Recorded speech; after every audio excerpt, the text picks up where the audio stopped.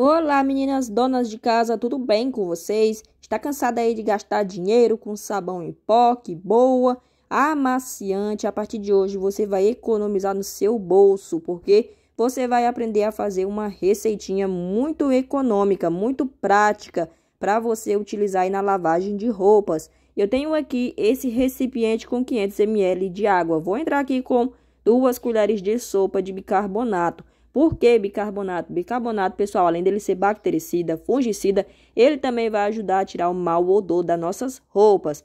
Vamos colocar aqui também 50 ml de detergente e mistura aqui muito bem.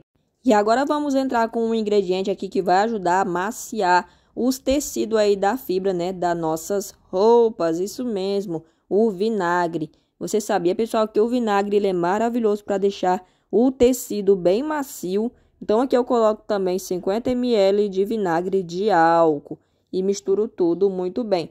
E eu vou entrar aqui agora, pessoal, com o Ajax, e que nada mais é do que um desinfetante aí potente para limpeza. E é por esse motivo que eu vou colocar aqui dentro uma tampinha do Ajax. Ele é muito perfumado, não precisa nem colocar amaciante, o cheiro maravilhoso de flor que tem.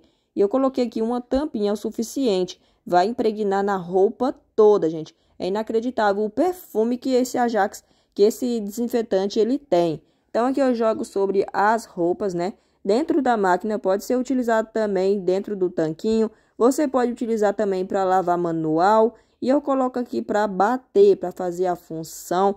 E essa receitinha, além dela deixar a roupa perfumada, ela vai deixar a roupa bem macia, bem limpinha, não desbota.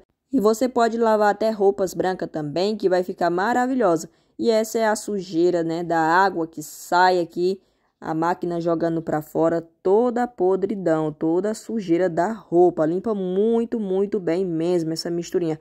Então vale super a pena você fazer aí na sua casa, né, e testar. E fica assim, gente, tudo bem limpinho, perfumado. Só deixar secar, né, nesse calorzão que tá fazendo, rapidinho seca essa roupa. E você pode também lavar tapete, sabe aqueles tapete, né? Tapete é uma coisa que suja bastante, fica muito, muito sujo mesmo. E aí você pode lavar também tapete, pode lavar também roupas íntimas também.